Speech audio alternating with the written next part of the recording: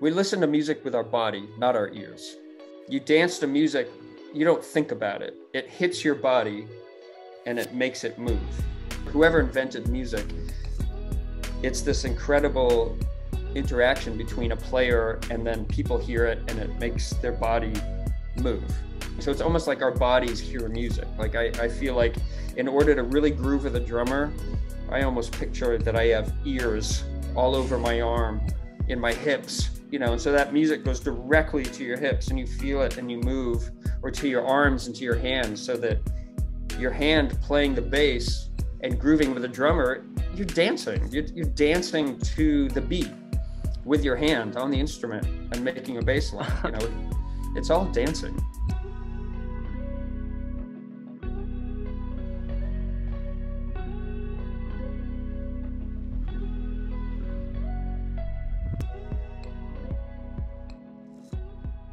Here we are with Chris Wood. Chris, man, so glad to have you here.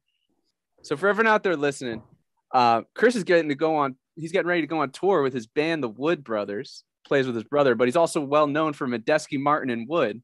That's right. Um, so Chris, how are you, man? I'm great. I'm great. I'm uh I've just been farming all day, so that's why I'm I got my hat on, been outdoors, my hair is a mess, so I figured I'll just keep it right there. Um, yeah, things are good, man. Really, really happy. You know, the pandemic changed my life, and I ended up.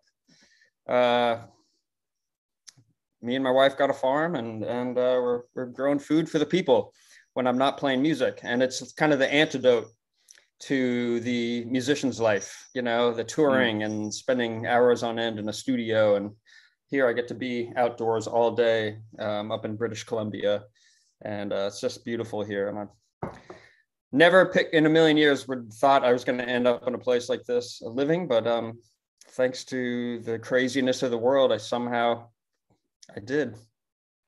The antidote. I love that. It is the antidote. so, Chris, my, my first question here to start this off: playing in the same band as your brother, can you talk to me about like what you admire about him musically? Oh my God, my brother is an incredibly soulful human being uh, and is a poet. Um, he has a phenomenal voice. Um, we both soaked up music, you know, certain roots kind of music. Um, he really focused on, you know, a lot of blues stuff, uh, Delta blues, Chicago, Texas blues um, I mean, he went to music school and he learned all kinds of stuff, and he can he could do anything. But I think the music that he really took the deep dive with was was some real old school blues musicians, you know, um, Lightning Hopkins and um, Muddy Waters and uh, John Lee Hooker and Mississippi John Hurt, you know, like guys like that. And then like like anybody like so many bands that that are classic have, have taken that kind of music and then it filtered it through their own lens of who they are and it came out the other end with this unique you know way of interpreting and playing that music mixed in with who he is as a human being and um, so uh, you know our our mother was a poet so there, there was always this fascination with words uh, and and using language and these sort of concise mysterious ways to evoke a feeling to you know in the same way that Medeski, Martin, and Wood, we always talked about how cool instrumental music was because it didn't have lyrics, and that evoked kind of certain emotions that you can't express with words. But poets get past that, and they they can evoke mysterious emotions with words. And you, you think about most people have a lot of songs that they love, but if you really press them, they don't know what the song's about, but that gives them a feeling. And so mm. I think that's pretty common, you know, more than we give credit to that, that sometimes we really, I don't know, there's some songs I don't really know what it's about, but I know that I like it and it gives me a certain feeling. And that's just because it's music, you know, and words are part of that how would you sum up your musical philosophy? Uh, well, God, that's a big question. My musical philosophy, music, if anything, has taught me that um, nobody knows what makes music good. Nobody really knows what makes a song good, what makes a certain piece of music good, and it stays around forever. I mean, if we did, if there was some sort of formula, we'd be bored with it. And, you know, we'd just have a computer spit out classic, amazing music that we love that goes straight to our heart. But nobody really knows that, you know, and in hindsight, it's hard to realize that because there's so many classic pieces of music that were we just take for granted. Of course, that's a masterpiece. Of course, that stood the test of time.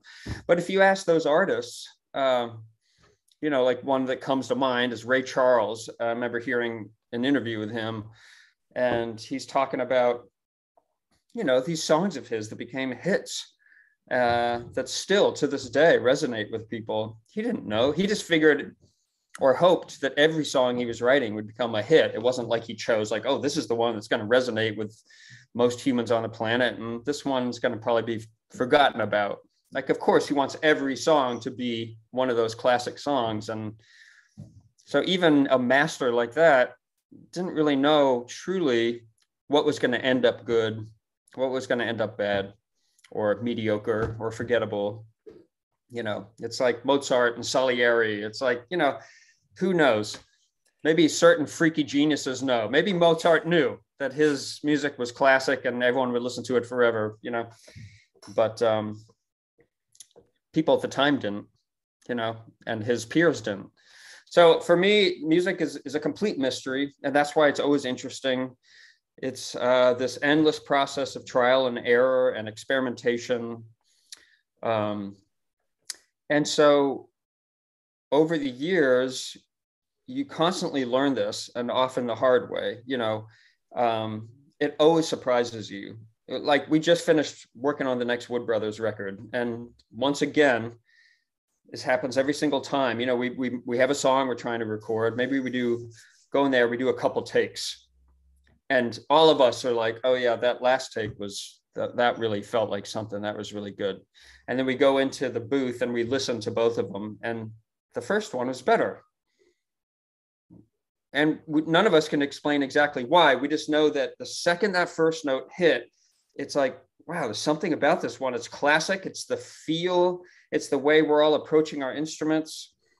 It's maybe the fact that we actually are not confident about the song yet. Like once we got confident because we played it a few times, everyone, you know, they get a little cocky and they dig in a little bit too hard.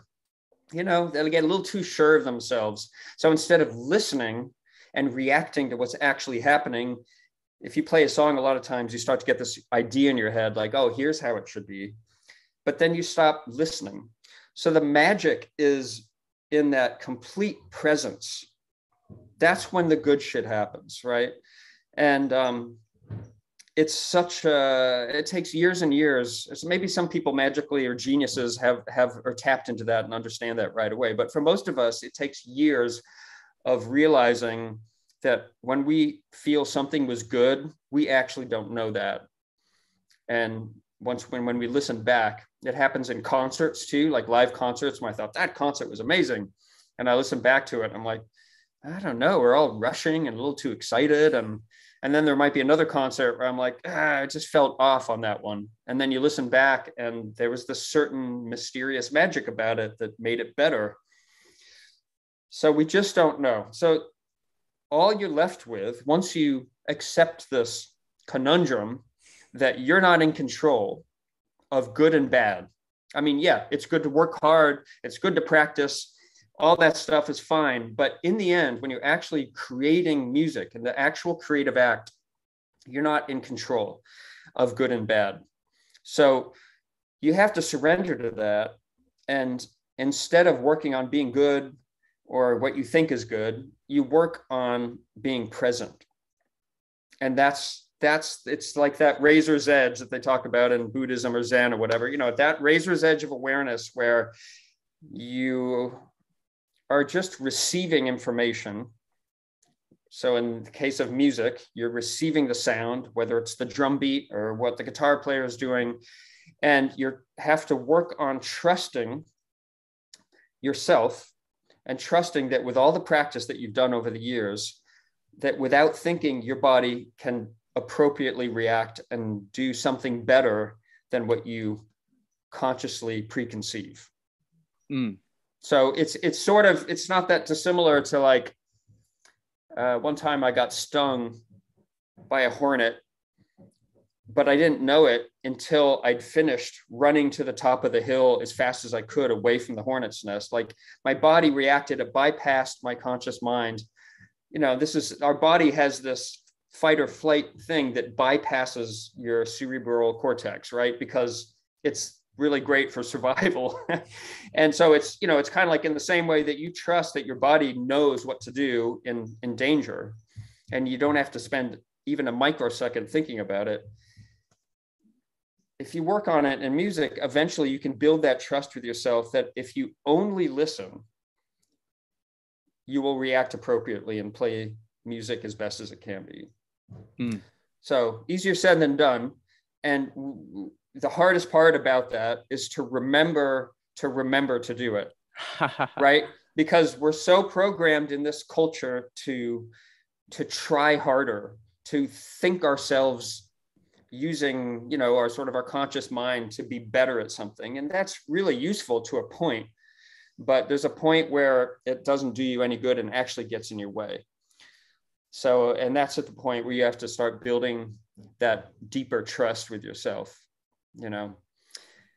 And so it, you kind of have to do that. You have to really be um, brave enough to suck for, for a minute, you know, because so so what how when I when I like teach about this stuff, it really comes down to this. Like if if you picture like one of those magical nights where the music really was special and it was so on that even you knew it while it was happening occasionally that happens where it's just like some deep part of you realizes okay everything's at another level tonight if you really meditate on that and think well what is, what's going on in your body and your mind and it's some really basic stuff you know like like breathing.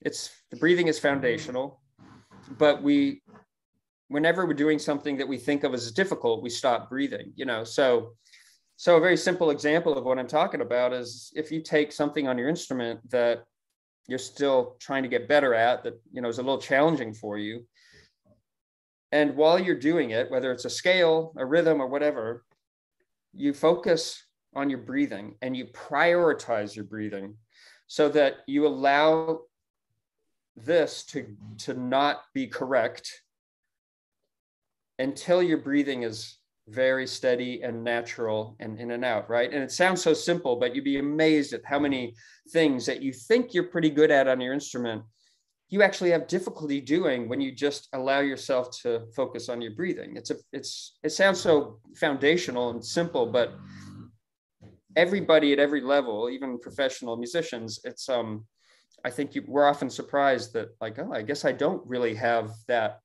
piece of music under my fingers because I'm having a hard time just breathing naturally while I play it. So, in order to do that, you have to prioritize your breathing over playing correctly until the breathing becomes natural, so natural, so in your body, so relaxed that then your mind, without having even a shadow of a doubt that you're going to like start doing weird things like holding your breath and, you know, that then you can just shift your awareness onto your hand and start playing correctly, whatever you're working on, without ever for a second sacrificing the breath. So it's it's that's the kind of thing that we we always we're so concerned about being good in our culture at the thing that we want to be good at that we sacrifice the actual way our body needs to exist in order to be truly good at that skill.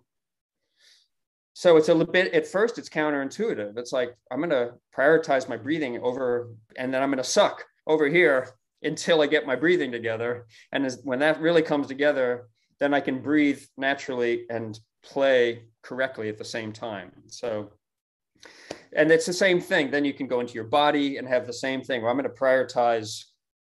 Uh, many teachers call it being relaxed. You know, it, all, so many music teachers relax, relax your body.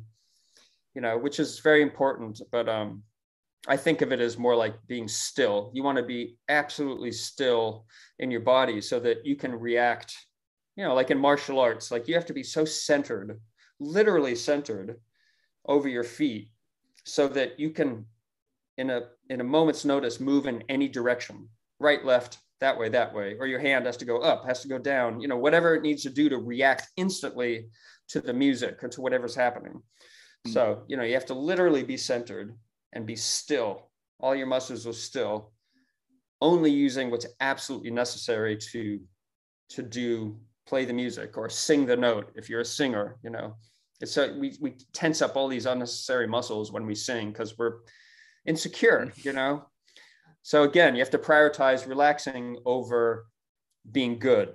And it's like, all right, I'm going to sound terrible for a minute while I prioritize being relaxed, being still in my body, my breathing, until I get that together. And then, ah, the singing becomes easier. Ah.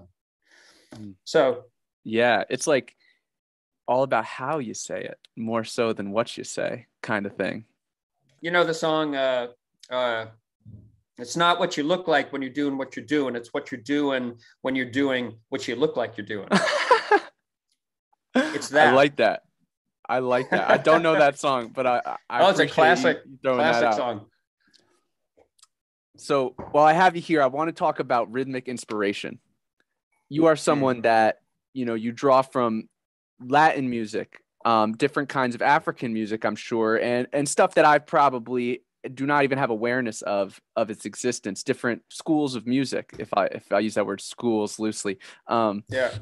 But can you can you talk to me about what you most admire about um, some of your rhythmic influences and and really what you think it is about rhythm that can be just so profound and moving um, to the listener to the player yeah um, and even like how the room and the acoustics of the room what part that plays in it all of music is is the the roots of it is rhythm even you know music that doesn't feel rhythmic a phrase, even a melodic phrase, like that you might hear in an orchestra, where yeah, there's no beat, there's no grid of time going by, but it's still a phrase that has a beginning and a middle and an ending and has an arc to it. That's rhythm. And all the counterpoint that happens against that melody or whatever it is, that phrase, all that is rhythm. The form of a piece of music, whether it's 12 bar blues, an AABA song form, uh, or you know a waltz or something the form the length of sort of what we call one time through the chorus in music you know that is a rhythm. So everything is rhythm. All music comes from rhythm. Uh, in western culture we we i think wrongly prioritize harmony you know uh, music theory you know harmony and and chordal stuff and just learning that um, but I think cultures who begin with rhythm, you know, and require anybody who wants to play music to play some sort of percussion instrument first are light years ahead of us, you know, in, in terms of when they switch to and start learning about harmony. Um, they have this incredible facility already there because they they understand and can feel rhythm, whether it's one little uh, you know, one bar rhythmic phrase or, you know, like what a four bars phrase feels like, or in Indian music, you know, you have crazy long, very long uh, phrases of music, but but they are learned by really learning rhythm, studying rhythm, and then you're able to feel the arc of a phrase. So even though you're singing a melody and and um, it's not necessarily always in a grid, it's that's all rhythm, you know. So it's just so foundational. It's like I can't say that enough. And um, I know I made the mistake, like most you know kids and Western culture who are excited about music and want to learn it. I got really excited about jazz. I wanted to learn jazz, and I had the classic uh, Miles Davis record, "Kind of Blue," right, which most people on the planet have heard by now. And "Kind of Blue" you know, has like Cannonball Adderley and John Coltrane and Paul Chambers and Wynton Kelly and Bill Evans and these incredible players. Every solo, and of course Miles Davis, and every solo is classic, like almost like a written melody. You know, it's so beautiful. And so I one day, as sort of an ambitious uh, young jazzer, was like, well, I'm going to figure this out. I'm going to figure out why these guys know how to pick the good notes and why they're, you know, they sound so good. Like, why are these solos so good? And so I got one of those machines where it was like the old tape cassette machine where you could slow it down to half speed, you know, so I could like transcribe every single note. And I, I wrote every single note down that these guys played. And it just took hours and hours, hours, a lot of work. And I had the chords and I had exactly what notes they played against the chords. And I started studying those notes. And I quickly realized that there's kind of nothing special about the notes. They're just playing you know, some chord tones. And they would sometimes use chromatic runs to get from one chord tone to another chord tone. And it didn't really teach me anything. But it made me realize that, oh, okay, so it's not the notes. That's not the part that matters. It's their rhythmic phrasing. So if you study like a Charlie Parker thing, you look at his notes. I mean, yeah, there's some interesting things that he does, the way he dances around uh, chord tones and and he might choose a few unexpected notes here and there but what really makes it speak is his rhythmic phrasing. So i started you know experimenting with things like um, well what if you took you know if, if we use the charlie parker example like the song donna lee like all jazzers know the song donna lee. Jaco pastorius made it very famous by doing the solo rendition with congas. It's unbelievable. Um, but if you really want to understand Donna Lee rhythmically, you know, it's harmonically, it's one thing. It's harmonically complex and interesting and fun to study. But what's also fun, then, if you really want to get good at the the way that melody dances over the chord tones of the form of the song, you can play Donna Lee the rhythm, but get rid of Charlie Parker's notes. So if you've heard the song, it's like one, two, right? That's the first phrase. So, well, oh, okay, what if I use that rhythm, but I make up my own notes? Mm. So, you know, and just experiment with like, oh, can can the rhythm, and again, like I talked about the breath earlier, like let's prioritize the breath over the correct playing here this you can do the same thing with rhythms. Like i'm going to prioritize the rhythm and even if i'm flubbing the notes i'm going to make that the priority with my fingers that i'm going to at least get that rhythm right. And once i get comfortable with that rhythm it's really sinks into my body like i can dance it then i can have fun improvising my own notes but using charlie parker's rhythm. And that's how you learn to feel like charlie parker you know, mm. and like you kind of learn how to get in his skin a little bit because you you you get his rhythm in your body. You know, it really helps if you listen to one of his records too, instead of just reading it off the page, because you can really you can feel the way he dances that rhythm with his saxophone. You know, so it that has to be like a an audible learning thing. So we listen to music with our body, not our ears. Mm. You know, that's what dancing is. You dance to music you don't think about it. It hits your body and it makes it move. That's another mis- mystery about music.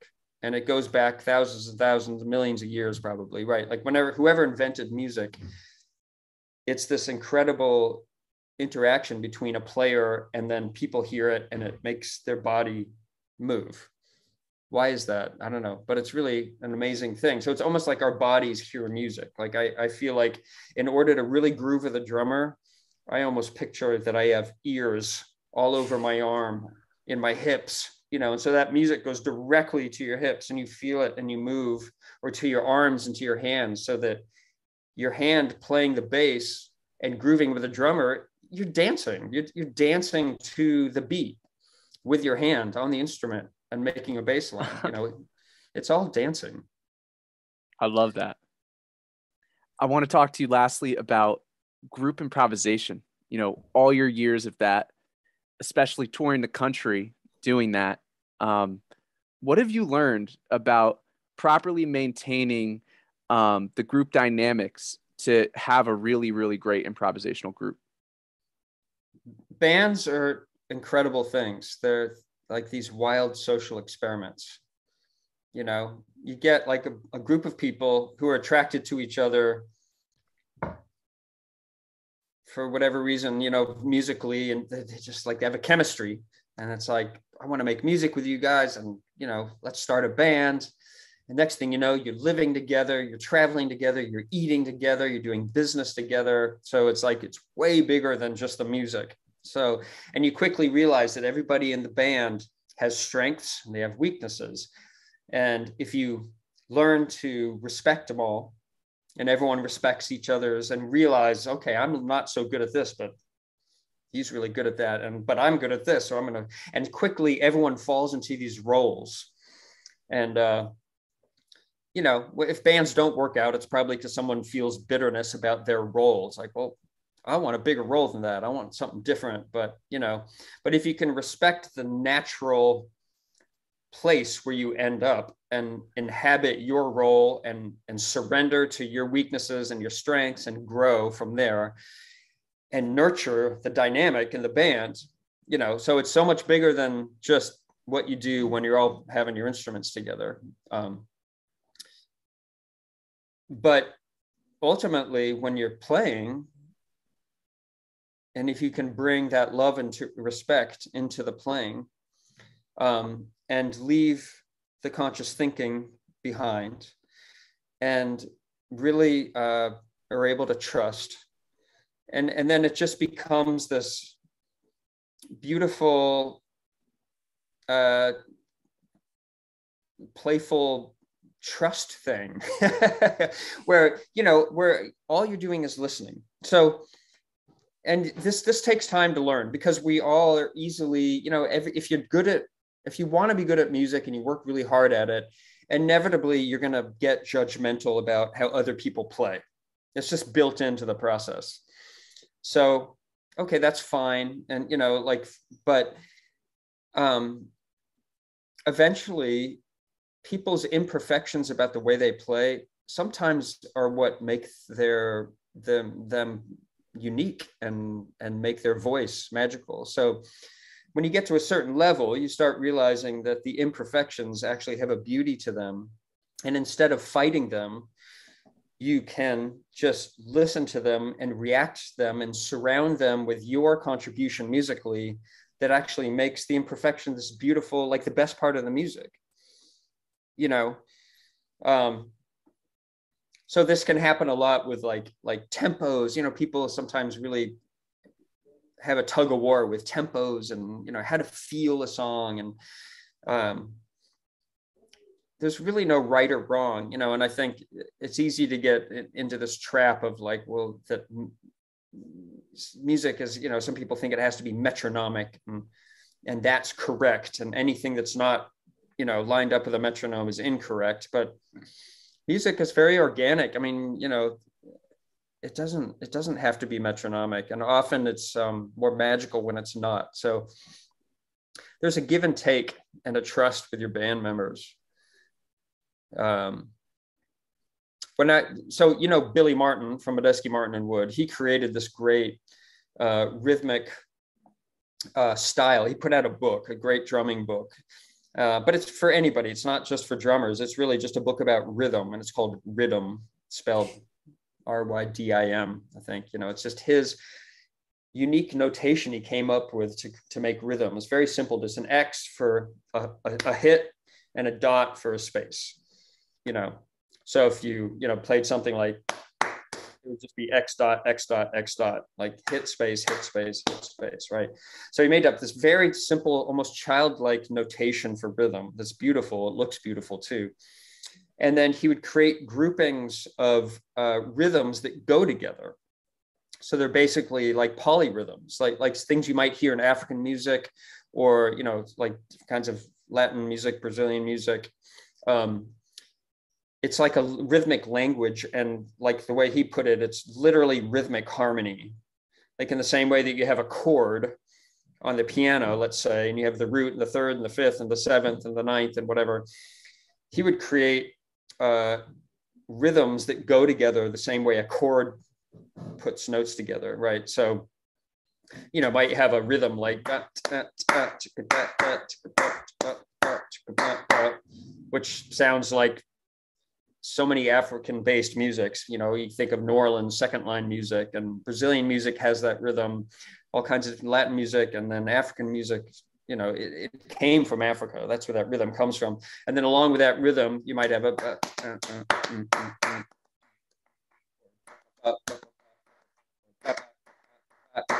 all those rhythms, if you start playing them all at the same time, they lock in together and the, the hits and the spaces create this beautiful counterpoint that you can hear and, in a lot of this um, rhythmic folk music from Africa and from you know the Latin countries and, and Brazil, etc. But the cool thing that we learned when we would play these together with MMW, sometimes we you know you sit there and we play these little uh, rhythmic pieces that he created. What you quickly learn is that there's no right and wrong in tempo. Um, and these things fit together, these rhythms fit together like this. So as long as you're listening, not to yourself, but to the other people playing, they may be playing a little slower, a little sloppier than you. But if you listen to them, you can still lock in and still create the rhythmic puzzle, you know, and the counterpoint. And, and and flow with them and adapt to the way they're doing it instead of being rigid and saying the my way is the right way but as soon as you do that then you you get off and nothing's grooving anymore but if you if you surrender a little bit to the way they do it and learn how to lock in you can elevate everything because then they hear you and they start feeling it better and suddenly this starts happening and then all of a sudden you're all on the same page and beautiful things happen from there. But if you fight it right from the beginning and you say, you know, this is right and this is wrong and my way is the right way, and it's hard to really get anywhere. So it almost goes back to the thing I said earlier. It's like you kind of have to make that the priority and be unafraid to suck briefly or make a mistake in the short term for something much more beautiful to happen in the longer term. Mm. Chris, I love it, man thank you. Um, big lessons here. Definitely, they apply beyond just music. Uh, Absolutely, Chris, man, yeah. Thank you for the time. Everyone out there listening, there's some tour dates we're gonna have in the description a link. The Wood Brothers going on tour with Guster. Chris, man, thank you. Thank you. Thanks for having me.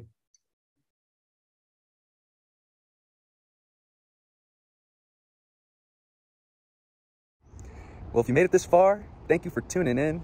Big shout out to our sponsor, Thrax. Check them out if you're looking for some incredibly high quality CBD and THC gummies.